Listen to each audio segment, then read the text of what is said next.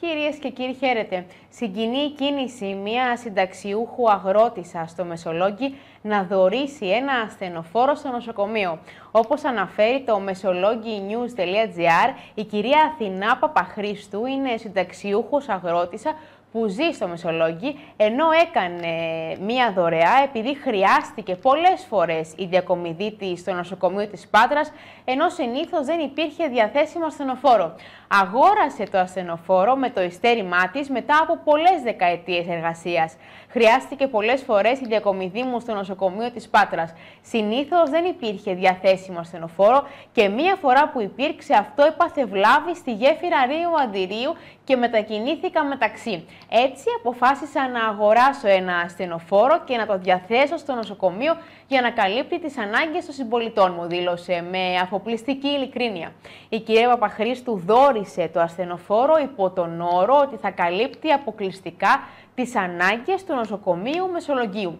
Ο δεύτερος όρος που ζήτησε χαριτολογώντας είναι όταν το συγκεκριμένο ασθενοφόρο διέρχεται έξω από το σπίτι της να χτυπά τη σιρήνα. Ανοιχτή σύσκεψη στο Δημαρχείο του Γεναδίου θα πραγματοποιηθεί το Σάββατο για τα προβλήματα των πυρόπληκτων της Νότιας Ρόδου. Η ανακοίνωση αναφέρει μεταξύ άλλων τα εξής. Σχεδόν τέσσερις μήνες πέρασαν από την πυρκαγιά του καλοκαιριού που έκαιγε επί δέκα μέρες και προκάλεσε τεράστιες καταστροφές στις περιουσίες, στην τοπική οικονομία και στο φυσικό περιβάλλον του τόπου μας. Ενώ όλες οι πληγές είναι ακόμα ανοιχτές, ελάχιστα πράγματα έχουν γίνει από το κράτος όσο αφορά τις αποζημιώσεις, την αντιπλημμυρική προστασία και την αποκατάσταση του φυσικού περιβάλλοντος. Μετά τις κινητοποιήσεις μας δόθηκαν επιτέλους κάποιες αποζημιώσεις και πληρώθηκαν οι αναστολές σε μέρος των πυρόπληκτων ανέργων εργαζομένων των τουριστικών επιχειρήσεων. Όμως ακόμα εκατοντάδες άνεργοι εργαζόμενοι δεν έχουν πάρει την αναστολή. Πολλοί κάτοικοι που κάηκαν τα σπίτια τους δεν έχουν λάβει ούτε ένα ευρώ αποζημίωση. Πολλές τουριστικές επιχειρήσεις δεν έχουν λάβει την κρατική αρρωγή και έχει απορριφθεί η αποζημίωση για τα προϊόντα που χάλασαν. Πολλοί πυρόπληκτοι δεν δικαιούνται καν στην πληρωματική δήλωση των ζημιών που υπέστησαν. Οι καταγραφές από τις κρατικές υπηρεσίες κράτησαν μόνο λίγες ημέρες και όποιος πρόλαβε. Οι αιτήσιες απαραίτητες αντιπλημμυρικές παρεμβάσεις προχωρούν πολύ αργά, ενώ τα αντιπλημμυρικά, αντιδιαβρωτικά έργα όπως προστασία από κατολιστήσεις στο Ασκληπιό βρίσκονται κυριολεκτικά στο μηδέν. Στις λίγες περιοχές της Νότιας Ρόδου που έχει μείνει παρθένο δάσος, όπως η Ίστριος και η Λαχανιά, δεν έχουν ξεκινήσει τα μέτρα πυροπροστασίας, ούτε υπάρχει αντίστοιχο σχέδιο από το κράτος σε κεντρικό και τοπικό επίπεδο. Για όλα τα παραπάνω προβλήματα έχουμε καταθέσει αναλυτικό υπόμνημα σε συγκεκριμένα αιτήματα στην κυβέρνηση, στην περιφέρεια και στον Δήμο.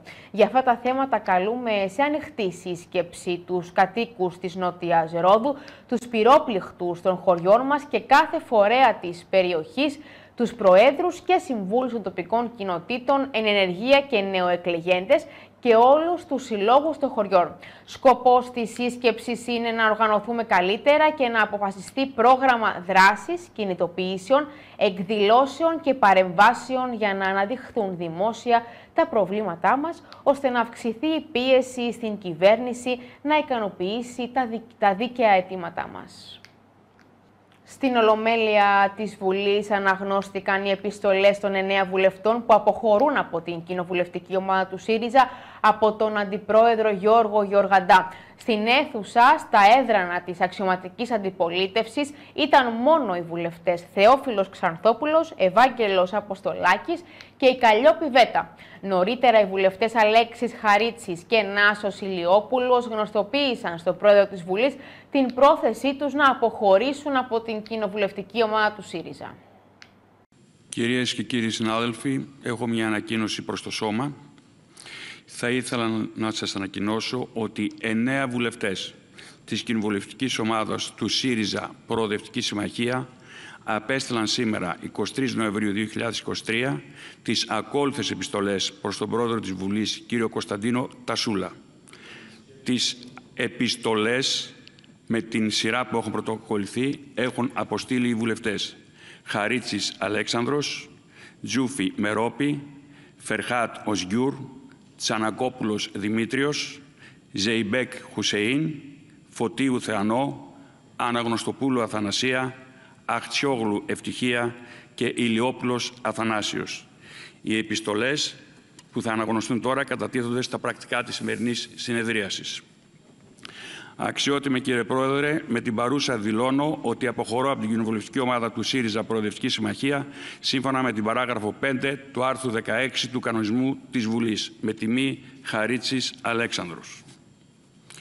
Αξιότιμε κύριε Πρόεδρε, με την παρούσα σας δηλώνω ότι αποχωρώ από την κοινοβουλευτική ομάδα του ΣΥΡΙΖΑ Προοδευτική Συμμαχία σύμφωνα με την παράγραφο 5 του άρθρου 16 του κανονισμού της Βουλής Μερόπη Τζούφη. Αξιότιμη κύριε Πρόεδρε, με την παρούσα δηλώνω ότι αποχωρώ από την κοινοβουλευτική ομάδα του ΣΥΡΙΖΑ Προοδευτική Συμμαχία, σύμφωνα με την παράγραφο 5 του άρθρου 16 του κανονισμού της Βουλής, ως Γιουρ Φερχάτ. Αξιότιμη κύριε Πρόεδρε, με την παρούσα δηλώνω ότι αποχωρώ από την κοινοβουλευτική ομάδα του ΣΥΡΙΖΑ Προοδευτική Συμμαχία, σύμφωνα με την παράγραφο 5 του άρθρου 16 του κανονισμού της Βουλής, Τζανακόπουλος Δημήτριος. Κύριε Πρόεδρε, σας γνωστοποιώ εγγράφο την αποχώρησή μου από την κοινοβουλευτική ομάδα του ΣΥΡΙΖΑ Προοδευτική Συμμαχία και την ανεξαρτητοποίησή μου με τιμή Χουσεΐν Ζεϊμπέκ. Αξιότιμη κύριε Πρόεδρε, με την παρούσα δηλώνω ότι αποχωρώ από την κοινοβουλευτική ομάδα του ΣΥΡΙΖΑ Προοδευτική Συμμαχία σύμφωνα με την παράγραφο 5 του άρθρου 16 του κανονισμού της Βουλής Θεανό Φωτίου. Αξιότιμη κύριε Πρόεδρε, με την παρούσα δηλώνω ότι αποχωρώ από την κοινοβουλευτική ομάδα του ΣΥΡΙΖΑ Προοδευτική Συμμαχία σύμφωνα με την παράγραφο 5 του άρθρου 16 του κανονισμού της Βουλής Αθανασία Αναγνωστοπούλου. Κύριε Πρόεδρε, σας γνωστοποιώ εγγράφως την αποχώρησή μου από την κοινοβουλευτική ομάδα του ΣΥΡΙΖΑ Προοδευτική Συμμαχία και την αναξαρτοποίησή μου με τιμή Ευτυχία Αχτσιόγλου. Κύριε Πρόεδρε, σας γνωστοποιώ εγγράφως την αποχώρησή μου από την κοινοβουλευτική ομάδα του ΣΥΡΙΖΑ Προοδευτική Συμμαχία και την ανεξαρτοποίησή μου με τιμή Αθανάσιος Ηλιόπουλος. Οι επιστολές θα καταχωριστούν στα πρακτικά. Ξεκίνησε το απόγευμα της Πέμπτης η συνεδρία της πολιτικής γραμματείας του ΣΥΡΙΖΑ Προοδευτική Συμμαχία υπό τον Στέφανο Κασελάκη. Στη συνεδρία της πολιτικής γραμματείας ο Στέφανος Κασελάκης αναμένεται να ανακοινώσει τη νέα ηγετική ομάδα του κόμματος με τη μορφή του πολιτικού κέντρου, στην οποία θέση αναμένεται να έχουν και πρόσωπα τα οποία δεν τον έχουν στηρίξει, όπως ο Διονύσης Στεμπονέρας και ο Γιάννης Ραγκούσης. Ο πρόεδρος του ΣΥΡΙΖΑ μέσα στις επόμενες ώρες και ημέρες θα προβεί και σε ανακοινώσεις για πρόσωπα που αναλαμβάνουν θέσεις κλειδιά στα τμήματα και στα think tanks, ενώ συνεργάτες του αφήνουν ανοιχτό το ενδεχόμενο για πρωτοβουλίες έκπληξη. Όσο αφορά την αποχώρηση των 6 συν 6, ο κύριος Κασελάκης θα επαναλάβει ότι είχε πει και για τους Ευκλήδη Τσακαλώτο και Πέτη Πέρκα, πως θα πρέπει δηλαδή να παραδώσουν τις έδρες τους. Συνεδριάζει η πολιτική γραμματεία του ΣΥΡΙΖΑ λοιπόν μετά τη διάσπαση και την αποχώρηση των 9 της ομάδας Αχτσιόγλου συνέντευξη στην τηλεόραση της Ναυτοεμπορικής και την Νικόλη Βαδάρη εν μέσω των ραγδαίων εξελίξεων στο ΣΥΡΙΖΑ και την αποχώρηση της ομάδας Ακτιόγλου παραχώρησε ο πρόεδρος κοινοβουλευτικής ομάδας του κόμματος Σοκράτης Φάμελος. Δεν είναι αντίπαλοι μας όσοι αποχώρησαν από τον ΣΥΡΙΖΑ. Ο αντίπαλος είναι ο κ. Μητσοτάκης, η ακρίβεια και η φτώχεια. Για όλους τους πολλούς κάνουμε πολιτική. Αυτό θέλω να πω στα μέλη του ΣΥΡΙΖΑ. Η αποχώρηση είναι λάθος προοικονομεί πολιτικές διαφορές οι οποίες δεν έχουν συζητηθεί στα όργανα του ΣΥΡΙΖΑ. Η διαφωνία εστιάζει στο πρόσωπο του Προέδρου, αλλά υποκρύπτει την αντίθεση με την εκλογή του Στέφανου Κασελάκη. Έπρεπε να γίνει συζήτηση, υπογράμμισε ο κύριος Φάμελος. Αποχώρηση των 6 6, 9 βουλευτών και ε, ε, πολλών ακόμη στελεχών ε, του ΣΥΡΙΖΑ. Ποιο είναι το πρώτο σχόλιο; Κοιτάξτε, είναι μια ιδιαίτερα αρνητική εξέλιξη. Και πρέπει να πω ότι και προσωπικά με θλίβει ιδιαίτερα η επιλογή των πρώην πλέον συντρόφων και συντροφισών. Είναι αρνητική εξέλιξη και για το ΣΥΡΙΖΑ, αλλά και για τα συμφέροντα της κοινωνίας. Διότι αδυνατίζει την αξιωματική αντιπολίτευση την ώρα που ο κύριος Μητσοτάκης ε, υλοποιεί ένα ευρύτατο σχέδιο ε, κατεδάφισης δικαιωμάτων και ασφάλειας. Από το φορολογικό μέχρι το προπολογισμό, από τα θέματα των πυρκαγιών, των πλημμυρών, της πολιτικής προστασίας, τα θέματα ιδιαίτερα της ακρίβειας και της χροκέντρια. Ενώ λοιπόν ο κ. Μητσοτάκης συντρίβει και δικαιώματα και προσδοκίες για πρόοδο στην κοινωνία και στο μέλλον της νέας γενιάς. Ε, ο ΣΥΡΙΖΑ ασχολείται έντονα με τα σωματικά του προβλήματα. και μια ομάδα σημαντική και σημαντικών συντρόφων και, και στενών συνεργατών μου. Ε, ήμασταν μαζί στο Υπουργικό Συμβούλιο και στην αντιπολίτευση πάρα πολλά χρόνια, ε, επιλέγουν να αποχωρήσουν.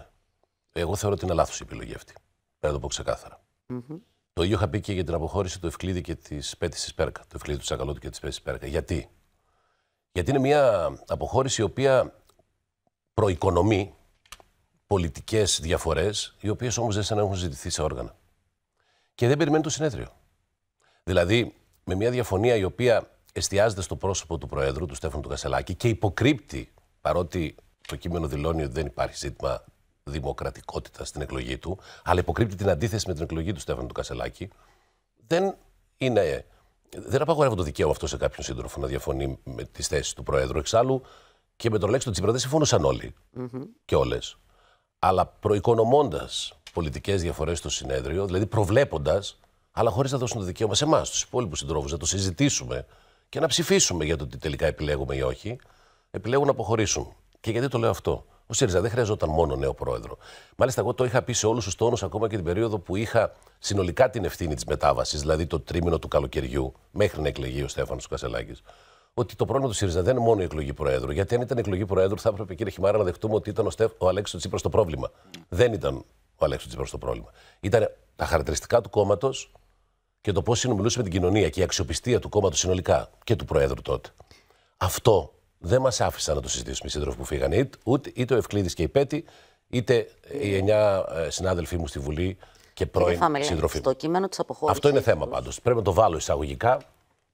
Το περι... Δεν το περιμένατε. Ε, γιατί και ε, καλά, είχε... Το είχε προαναγγελθεί ουσιαστικά. Ε, το περίμενα από τις διαρροές. Ναι. Εγώ, ως πρόεδρος κοινοβουλευτικής ομάδας, πρέπει να σας πω και δεν θα δημοσιοποιήσω οτιδήποτε άλλο από εδώ και μπρος. Είχα κάνει όλες τις προσπάθειες ώστε να λειτουργεί ενιαία κοινοβουλευτική ομάδα. Αυτό. Δεν υπήρχε κανένας αποκλεισμός. Ε, υπήρχαν προσπάθειες ε, όπως έπρεπε, σοβαρές από όλες τις πλευρές για να συνεργαστούμε και να έχουμε ενιαία έκφραση. Ε, δεν μου επιτρέπεται από τη θέση που έχω να, να εκφράζω ιδιαίτερες προσωπικές απόψεις, διότι ξέρετε, είναι πολύ κρίσιμο η θέση του Προέδρου και στη μετάβαση και τώρα το, τους πρώτους μήνες και του Στέφανου Και οφείλουμε να πούμε ότι ε, σε μια πολύ δύσκολη δεν... συγκυρία για το ΣΥΡΙΖΑ αυτή τη θέση την έχετε ε, υπηρετήσει με μεγάλη ακαιρεότητα. Δεν, δεν είναι προσωπικό ζήτημα. Ε, θέλω να το ξεκαθαρίσω αυτό. Όμως, Εκφράζω μια συλλογικότητα. Ως μια, μια ζωή που ξεκίνησε και ζούσε μέσα στην πολιτική και εκφραζόμαστε πολύ μαζί με τον ίδιο τρόπο. Είστε πρόεδρος της κοινοβουλευτικής ομάδας. Λέτε ότι το μάθατε από τις διαρροές. Δεν είχε έρθει σε επαφή κάποιος μαζί σας για να σας μιλήσει για τις προθέσεις του από του 9 που έφυγαν. Όχι. Όχι, κανένα. Ε, ε, είχα επικοινωνήσει με αρκετούς ε, συναδέλφους. Ε, το λέω συναδέλφους γιατί είναι πρώην συντρόφου τώρα πια. Ε, δεν γνώριζα κάτι για την ώρα και την ημέρα και το πλαίσιο το ιδεολογικό πολιτικό το οποίο δημοσιοποιήθηκε. Δεν ήταν και δεν είναι αυτή η ανάγκη. Να σας πω κάτι πέρα από τους χαρακτηρισμούς. Εγώ θεωρώ ότι αυτή τη στιγμή το μεγαλύτερο πρόβλημα είναι ότι αδυνατίζει η αξιωματική αντιπολίτευση απέναντι σε έναν, ε, συγχωρέστε με τον όρο, Μητσοτάκη οδοστρωτήρα. Θα σεβαστούμε το αποτέλεσμα, δήλωσε εχθές ο Αντιδήμαρχος και αναπληρωτής Δήμαρχος ε, κύριος ε, Στράτος Καρίκη σχετικά με την εκδίκαση της ένστασης που κατέθεσε η παράταξη του Δημάρχου Ρόδου κ. Αντώνη Καμπουράκη στις 30 Νοεμβρίου. Άλλη Πέμπτη δικάζεται η ένσταση και οι πρόσθετοι λόγοι της παράταξής μας. Ε, κάθε δικαστήριο ε, από μόνο του ε, είναι μια πρόκληση. Ε, είναι αυτό που είπε ο Αντώσο Καμπουράκης στην συνέντευξή του, ότι ήταν υποχρέωσή του απέναντι σε έναν κόσμο, απέναντι σε στελέχη, απέναντι στο ποσοστό, απέναντι στο μικρό αριθμό ψύχων σε σχέση ε, με το αποτέλεσμα του πρώτου γύρου να γίνει συγκεκριμένη έσταση. Νομίζω ότι έγινε μια νομικά άριστη δουλειά. Ε, άρα όλοι θα περιμένουμε και θα σεβαστούμε το αποτέλεσμα. Νομίζω ότι μέχρι τη Δευτέρα είναι η προθεσμία να κατατεθεί η αντέσταση από την πλευρά του Αλέξανδρου του Κολιάδη ε, θα φανεί και το συγκεκριμένο δικόγραφο και μετά εμείς οι νομικοί θα έχουμε μια περισσότερο καθαρή άποψη ε, για το τι μπορεί να γίνει ε, στο δικαστήριο. Ο ίδιος ο Αντώνης Καμπουράκης ε, και, όλοι, ε, και όλοι μας έχουμε μια αισιοδοξία ε, για το αποτέλεσμα της έστασης. Από εκεί και πέρα όμως ε, είμαι άνθρωπος που έχω υπηρετήσει το Δήμο Ρόδου και στην συμπολίτευση και στην αντιπολίτευση.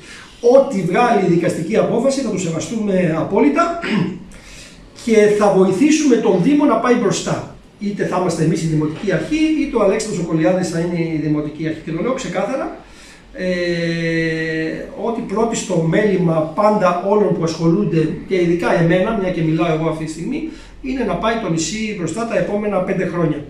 Κατατέθηκε στη Βουλή το νομοσχέδιο του Υπουργείου Εθνικής Οικονομίας και Οικονομικών με τίτλο «Δάνεια, διαφάνεια, ανταγωνισμός, προστασία των ευάλωτων, ενσωμάτωση της οδηγίας 2167, επανεισαγωγή του προγράμματος Ηρακλής και άλλες επίγουσες διατάξεις. Σκοπός του νομοσχεδίου είναι η ενσωμάτωση της οδηγίας 2167 του Ευρωπαϊκού Κοινοβουλίου και του Συμβουλίου της 24ης Νοεμβρίου για τους διαχειριστές πιστώσεων και τους αγοραστές πιστώσεων και την τροποποίηση των οδηγιών 2008-48 και 2014-17. Η εύρυθμη λειτουργία της κεφαλαιοαγοράς και ο ενισχυμένος έλεγχός της, η εν γέννη προστασία των οφειλετών και η ολοκλήρωση της διαδικασίας παροχής εγγύησης σε τιτλοποιήσεις που είχαν υποβληθεί κατά την δεύτερη φάση του προγράμματος Ηρακλής και για εξέταση νέων αιτημάτων που υποβλήθηκαν και από μη συστημικές τράπεζες.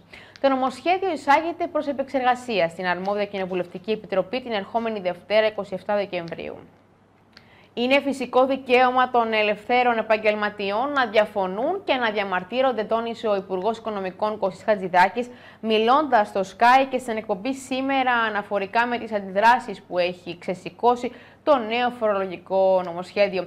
Ο κύριος Χατζηδάκης είπε σχετικά ότι η κυβέρνηση έχει ξεκαθαρίσει πως θέλει διάλογο και γίνονται καθημερινά συναντήσεις με φορείς και συλλόγους. Όποιες προτάσεις είναι συγκροτημένες τις ακούμε, ανέφερε και αρνήθηκε πως το νέο φορολογικό νομοσχέδιο είναι οριζόντιο. Εμείς έχουμε ξεκαθαρίσει ότι θέλουμε να κάνουμε διάλογο μαζί τους. Κάνουμε ήδη κάθε μέρα. Ε, υπάρχουν συναντήσεις με επιμέρους ε, φορείς και συλλόγους και έχουμε ξεκαθαρίσει ότι όποιες προτάσεις μας φανούν τεκμηριωμένες. Γιατί το κάνατε οριζόντια, δεν μπορούσατε να βρείτε τις περιοχές που φοροδιαφεύγουν; Οι συγκεκριμένοι κλάδοι. Ποιοι είναι αυτοί; Ταξιτζίδε είναι, γιατροί είναι, όποιοι είναι. Όπως θα σας εξηγήσω, δεν είναι οριζόντιο. Αλλά πριν πάμε σε αυτό, θα μου επιτρέψετε να πω για να υπάρχει μια βάση στη συζήτησή μας, να υπενθυμίσω ότι με βάση τα στοιχεία το 71% των ελεύθερων επαγγελματιών ε, δήλωσε την τελευταία φορά ένα εισόδημα κάτω από, το εισόδημα, από, από 10.000 ευρώ, που είναι χαμηλότερο και από το εισόδημα του μισθωτού με τον κατώτατο μισθό. Ναι. Το 54% πέρσι δήλωσε 0 ή ζημίες και επί 5 χρόνια συνέχεια, 18, 19, 20, 21 και 22, το, 20, το 27% ε, δηλαδή παραπάνω από ένα στους τέσσερις δηλώνουν ή ζημιά ή μηδέν. αυτούς τους ανθρώπους να δείτε πώς ζουν. Γιατί αυτό το ερώτημα που λέτε είναι εύλογο. Και εγώ θα το θέτω αυτό το ερώτημα. Άμα βλέπω πέντε χρόνια δηλώνεις ζημιές, αλλά συνεχίζεις να υφίσταται ως εταιρεία, ως επιχείρηση, θα έκανα μια διασταύρωση όμως να δω τι κάνουν αυτοί οι άνθρωποι. Με συγχωρείτε. Όλοι εδώ ζούμε, ε, μπορούμε να βγάλουμε τα συμπεράσματά μας.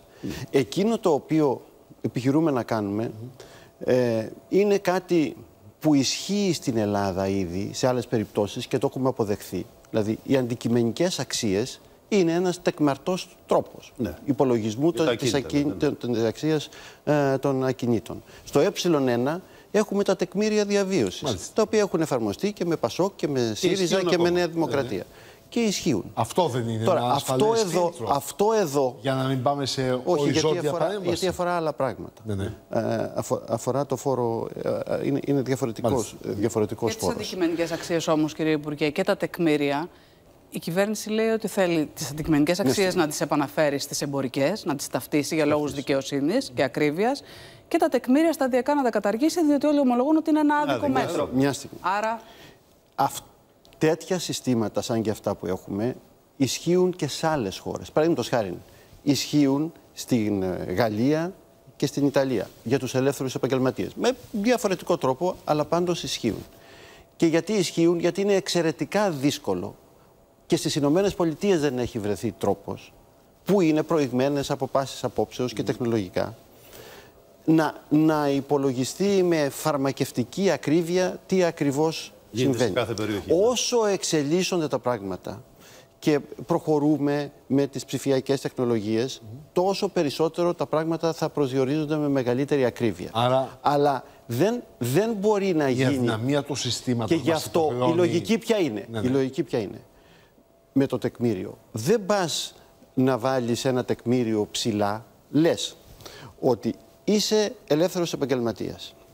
Ε, λέμε ότι η προσωπική σου συνεισφορά στην επιχείρησή σου δεν μπορεί να αποτιμηθεί χαμηλότερα από τον μισθό ενός εργαζομένου, ενδεχομένως και δικού σου εργαζομένου, που αμείβεται με τον κατώτατο μισθό. Ερώτημα προς τους τηλεθεατές. Είναι παράλογο, είναι υπερβολικό. Εάν κάποιος δηλαδή ε, είναι ελεύθερος επαγγελματίας, ένα χρόνο, δύο χρόνια, τρία χρόνια, πέντε χρόνια, γιατί κάνουμε εξαιρέσεις μέχρι τα πέντε χρόνια, γι' αυτό λέω και τα πέντε χρόνια. Ναι, ναι. ναι, ναι. Δεν λειτουργεί το τεκμήριο εκεί πέρα. Λοιπόν, και είσαι έξι χρόνια, οχτώ χρόνια, δέκα χρόνια και βγάζεις λιγότερα από τον υπάλληλό σου, ε, κάτι λάθος πάει. Άνοιξε η πλατφόρμα dandades.gov.gr προκειμένου να καταθέσουν αίτηση οι γονείς που επιθυμούν να συμμετάσχουν στο πρόγραμμα Νταντάδες της γειτονιάς. Το πρόγραμμα αφορά στην κατοίκον φροντίδα βρεφών και νηπίων ηλικίας από 2 μηνών έως 2,5 ετών και προβλέπει την οικονομική ενίσχυση των γονέων που θα επιλέξουν επιμελητή ή επιμελήτρια από το Μητρό Επιμελητών που έχει δημιουργηθεί στην πλατφόρμα. Όπως αναφέρει σε δήλωση της η Υφυπουργός Κοινωνικής Συνοχής και Οικογένειας Μαρία Αλεξάνδρα Κεφάλα, ξεκινάει η δεύτερη φάση του προγράμματος Δαντάδες Γειτονιάς. Στην πρώτη φάση είχε ανοίξει η πλατφόρμα dandades.gov.gr για τους επιμελητές επιμελήτριες και παραμένει ανοιχτή για όσους και όσες ενδιαφέρονται να εγγραφούν στο Μητρό Επιμελητών και τώρα άνοιξε η πλατφόρμα για τους γονείς. Οι Τετάδες Γειτονιάς είναι ένα πρόγραμμα που έρχεται να βοηθήσει στην πράξη τους γονείς στην φύλαξη και φροντίδα των βρεφών και νηπίων και να διευκολύνει τις οικογένειες στην καθημερινότητά τους, προσθέτει. Σύμφωνα με σχετική ανακοίνωση, δικαίωμα συμμετοχής στο πρόγραμμα έχουν μητέρες και πατέρες, φυσικοί θετοί ή και ανάδοχοι, που εργάζονται είτε στο δημόσιο είτε στον ιδιωτικό τομέα και αυταπασχολούμενοι αλλά και ελεύθεροι επαγγελματίες, καθώς επίσης και άνεργες μητέρες, φυσικές, θετές ή ανάδοχες, που είναι εγγεγραμμένες στα μητρώα της ΔΥΠΑ. Τεντάδες λοιπόν της γειτονιάς και ανοίγει η πλατφόρμα για τις αιτήσεις. Σύλληψη μεδαπού για ναρκωτικά και παράβαση της νομοθεσίας περί εκρηκτικών στην Κάλυμνο στις 22 Νοεμβρίου το μεσημέρι συνελήφθη στην Κάλυμνο από αστυνομικούς του αστυνομικού τμήματος Καλυμνιών 48χρονος η Μεδαπός, γιατί έπειτα από έρευνα που έγινε στην κατοικία του βρέθηκαν μεταξύ άλλων στην κατοχή του και κατασχέθηκαν βραδίκαυστο φυτίλι, δύο πυροκροτητές, αυτοσχέδιο τσιγάρο κάναβης και 38,4 γραμμάρια κάναβης. Ο στολισμός του δέντρου είναι καθαρά συμβολικό της ευτυχίας των ανθρώπων και της φύσεως με τη γέννηση του Ιησού. Για τους αιμοδότες της Ρόδου είναι αναντήρητο έθιμο ο στολισμός και η φωταγώγηση του δέντρου των αιμοδοτών στο νοσοκομείο μας να συμπίπτουν με την εορτή της Αγίας Εκατερίνης. Θεωρούμε ελάχιστη υποχρέωσή μας να ευχαριστήσουμε την Ιβόνη Παναγιώτου και την Πολυτήμη Πεζουβάνη για την επιμέλεια και το στολισμό του δέντρου μας που κοσμεί την κεντρική είσοδο του νοσοκομείου Ρόδου και προσδίδει την εορταστική ατμόσφαιρα που αναλογεί σε ένα νοσηλευτικό ίδρυμα με φιλοδοξία και αισιοδοξία. Με αφορμή την Παγκόσμια ημέρα εξάλληψης της βίας κατά των γυναικών, η Δημοτική Επιτροπή Ισότητας των Φύλων, η Σχολή Ανθρωπιστικών Επιστημών Πανεπιστημίου Αιγαίου και η Διεύθυνση Δευτεροβάθμιας Εκπαίδευσης Δωδεκανήσου με την υποστήριξη της ΑΧΕΠΑ ΕΝΕΣ Ρόδου διοργανώνουν σπερίδα που θα πραγματοποιηθεί στην αίθουσα πολλαπλών χρήσεων Κορνίλιος Καστοριάδης του Πανεπιστημίου Αιγαίου. Για την εκδήλωση αυτή, αλλά και για την έμφυλη βία στον χώρο εργασίας, που είναι η θεματική της Εσπερίδας, μίλησαν σε συνέντευξη τύπου που παραχώρησαν οι εκπρόσωποι των διοργανωτών. Εσπερίδα λοιπόν για την έμφυλη βία στον χώρο εργασίας. Αυτό που παρατηρούμε είναι ότι η λεκτική και η ψυχολογική βία που ασκείται στον επαγγελματικό χώρο αυξάνεται και γίνεται κυρίως ε, κατά των γυναικών. Ε, οπότε αυτά ήταν που μας έκαναν να πούμε ότι αυτή τη φορά, σε αυτή την παγκόσμια ημέρα κατά της βίας, το ειδικεύουμε το θέμα μας και πάμε στον εργασιακό χώρο. Είναι μια πρώτη φορά γίνεται μια τέτοια εκδήλωση στα τοπικά μας δεδομένα που ασχολείται με τη βία και θεωρούμε ότι ανοίγουμε ένα κύκλο που θα οφείλουμε να το συνεχίσουμε για να μπορέσουμε να ακούσουμε όσο το δυνατόν πιο πολλές γυναίκες, γιατί αν δεν το συζητήσουμε, δεν θα μπορούμε να βρούμε λύσεις και να βοηθήσουμε να υποστηρίξουμε τα άτομα. Ο μέσος όρος της Ευρώπης με άριστα το 100, όπου 100 θεωρείται ότι η γυναίκα και ο άντρας είναι ίσοι, η Ευρώπη έχει φτάσει στο 70,2. Η Ελλάδα είναι στο 58. Έχουμε ακόμα πολύ δρόμο να διανύσουμε και για να πιάσουμε τον ευρωπαϊκό μέσο όρο αυτό το 70 που λέγαμε, αλλά και για να φτάσουμε στο 100 που είναι το άριστα και που όλοι θέλουμε να φτάσουμε εκεί, να δώσουμε δηλαδή ε, σε αγόρια και σε κορίτσια, σε κορίτσια και σε αγόρια την ευκαιρία να έχουν ίσες ευκαιρίες για μάθηση, ίσες ευκαιρίες για επαγγελματική ε, σταδιοδρομία, ίση δύναμη στην, ε, στην, στην κοινωνία ε, και να ανατραπούν όλα αυτά τα στερεότυπα για τα οποία έκανε μια ανοίξη η Χριστίνα προηγουμένως. Δράσεις και βραδιά αστρονομίας διοργανώνεται από την Κυριακή 26 Νοεμβρίου στο Μανιαΐο Δημοτικό Σχολείο Συγκάλυμνο. Στην κάμερα της τηλεόρασης Αιγαίου και την Εύη Κουκιαΐνη μίλησαν η Βιβί Γεωργοπούλου, η νομική η Ανάση και ο κύριος Ζαφυρίου και πάμε να ακούσουμε τι μας είπαν. Καταρχήν να πούμε ότι ήταν ένας δημιουργικός μήνας. Είχαμε μια εκδήλωση κινηματογραφική, είχαμε μια εκδήλωση, έχουμε τώρα αυτή τη στιγμή μια θεατρική εκδήλωση. Αναμένουμε την επόμενη εβδομάδα άλλη μια θεατρική εκδήλωση. Αλλά εμείς βρισκόμαστε εδώ για άλλο λόγο, πολύ συγκεκριμένο. Είμαστε εδώ για να προσκαλέσουμε όλο τον κόσμο, μικρούς και μεγάλους, γιατί θα είναι εξίσου ενδιαφέρον για όλους, ε, αυτή την Κυριακή ε, στο χώρο του σχολείου μας, στον αύριο χώρο, από τις 5 και μετά, μέχρι φαντάζομαι κατά τις 9 ή όσο πάει, ε, γιατί μετά την ε, περσινή επιτυχή εκδήλωση βραδιάς αστρονομίας ε, θέλουμε βεβαίως να την επαναλάβουμε, τη ζητάει και ο κόσμος. Θα έχουμε λοιπόν τον κύριο Διονύση Τρικίλη, τον αγαπητό συνάδελφο φυσικό, διευθυντή πλέον του Νικηφορείου Γυμνασίου, με το τηλεσκόπιό του για να παρατηρήσουμε όλοι μαζί τα άστρα και τους, και τους πλανήτες. Παράλληλα θα έχουμε ε, την πολύ ευγενική συμμετοχή ε, του κυρίου Μπουφίδη και του κυρίου Αποστολίδη, οι οποίοι θα έρθουν εδώ και θα κάνουν ένα από τα καταπληκτικά τους live για τα παιδιά τους σχολείου και όλους τους επισκέπτες του σχολείου μας. και βέβαια παράλληλα σε αγαστή συνεργασία άλλη μια φορά με το Σύλλογο Διδασκόντων Σύσσωμα του σχολείου και την κυρία Μαγρυπλή, τη Διευθύντρια, ε, θα έχουμε μια σειρά δραστηριοτήτων, την οποία θα ήθελα να σας αναλύσει ο κύριος Ζαφυρίου ε, ως καταρχήν αρμόδιος. Χαίρομαι πάρα πολύ. Το μόνο που θέλουμε σύμμαχο είναι τον καιρό. Ακριβώς. Σας ακούμε. Ε, λοιπόν, η δράση μας θα αποτελείται από αρκετούς σταθμούς, όπως τους ονομάζουμε.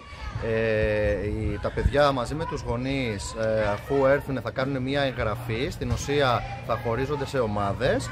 Ε, εκεί κάποιος συνάδελφος και φυσικά θα έχουμε και τη βοήθεια των παιδιών της έκτης ως ομαδάρχες θα αναλαμβάνουν την ομάδα και θα πηγαίνει η ομάδα από σταθμό σε σταθμό ούτως ώστε έτσι να ολοκληρώσουν ένα μαγικό ταξίδι ε, στο σύμπαν. Ε, οι σταθμοί μας θα έχουν ζωγραφική, θα έχουν ηλεκτρονικά μέσα επαυξημένη πραγματικότητα, ε, θα έχουν παιχνίδι ε, μουσικοκινητικό ε, στο οποίο συμμετέχει η γυμνάστριά μας, η κυρία Στραβάκου. Ε, θα έχουμε επίσης τον κύριο Τρικίλη όπως αναφέραμε. Θα υπάρχουν δράσεις με θέμα το σύμπαν τους πλανήτες, την παρατήρηση. Θα έχουμε επίσης κάποια ε, φυλάδια τα οποία θα μπορούν οι επισκέπτες να κατεβάσουν μια συγκεκριμένη εφαρμογή στα κινητά τους τηλέφωνα ή μετά στα τάμπλετ στο σπίτι όπου θα μπορέσουν να πάρουν στην ουσία την επαυξημένη πραγματικότητα μαζί τους και να μπορέσουν και εκείνη την ώρα αλλά και φυσικά μετά να έχουν μαζί τους το ηλιακό σύστημα και τους πλανήτες μας και φυσικά θα έχουμε τους πάγκους της ε, πέμπτης και της έκτης που θα έχουν κάποια εδέσματα. Γλυκά, αλμυρά, ζεστή σοκολάτα, αναψυκτικά.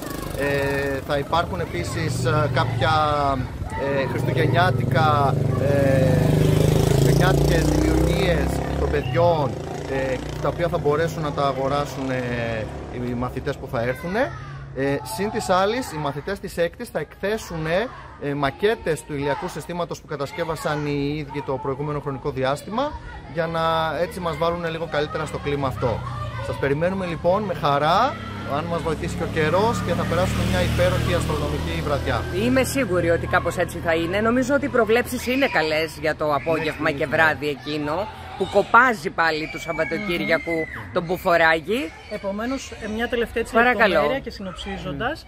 Ε, η πρόσκληση είναι για αυτή την Κυριακή 26 Νοεμβρίου από τις 5 και μετά. Θα είναι αρκετά συμπυκνωμένη η δράση, σε ένα τετράωρο περίπου. Οπότε καλό θα είναι ε, να το αξιοποιήσουμε πλήρως ε, και εννοείται απευθύνεται σε μικρούς και μεγάλους εξίσου.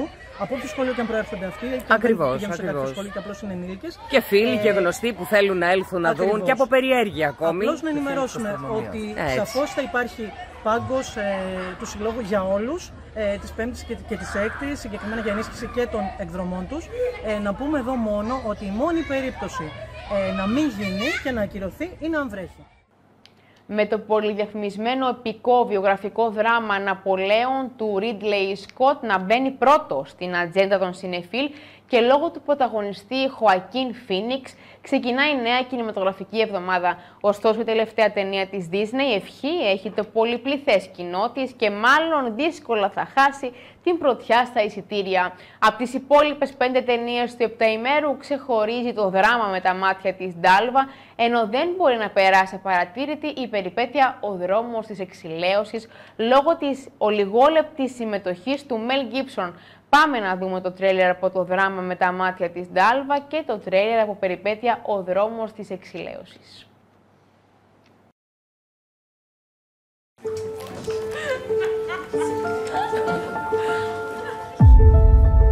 Désolée, Miss, mais là, ça va pas être possible. Tu peux pas aller à l'école comme ça. Pourquoi Je suis pas une fille. Je suis une femme. T'es pas encore une femme, Dalva. Pourquoi t'es là, toi Je sais pas.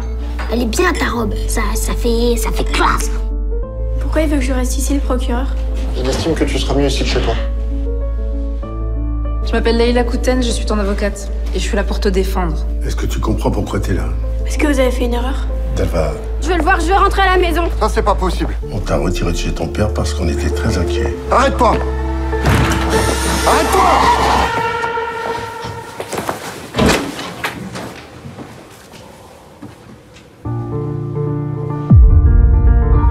arrivé, on en a rien à foutre. Personne peut comprendre. Bien niquer son bureau, hein.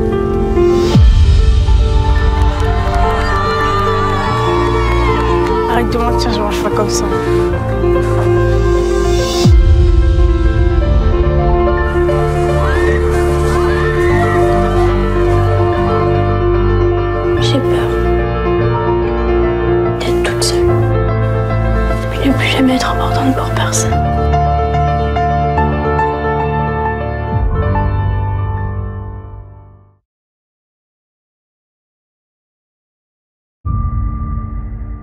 You doing? Going back to my room. I didn't do nothing. Y'all never do. What are you doing?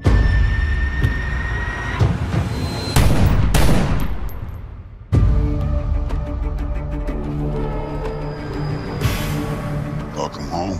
What happened to your face? Just a little going away present from the boys. They let you out early. You ain't out of my reach, boy. You're being awful hard on yourself. We can be forgiven.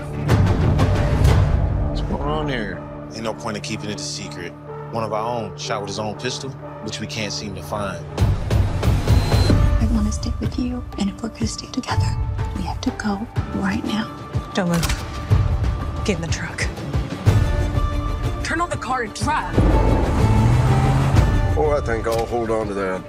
This ain't your gun. Just give it back to me. I will. You tell me who it belongs to. I shot him until he wasn't moving no more. I know a place you can go. Somewhere safe. If I'm gonna trust you, you're gonna have to trust me. What the hell is going on? Need that old place? I'll explain everything later. All right, I got your back. A woman came into the shelter, a little girl. Now, the lady working there said she found a pistol on her before she took off running. I just need to know if Russell stayed here with you the night before last. As far as I know, he was here. We got one brother dead. I ain't looking to be another.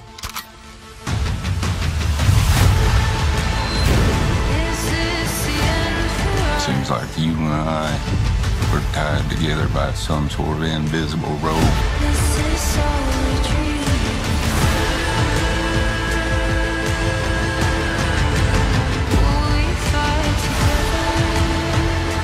Just do the best you can for right now. You don't worry about tomorrow till it comes. David, somebody help us!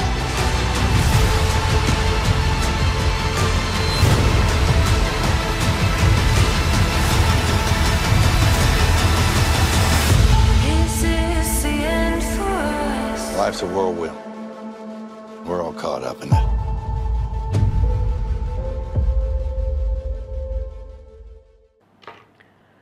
Κυρίες και κύριοι, εδώ ολοκληρώθηκε η αναλυτική σας ενημέρωση από την τηλεόραση Αιγαίο. Ευχαριστούμε που και σήμερα ήσταν κοντά μας. Από όλους εμάς, ένα όμορφο και ήσυχο βράδυ.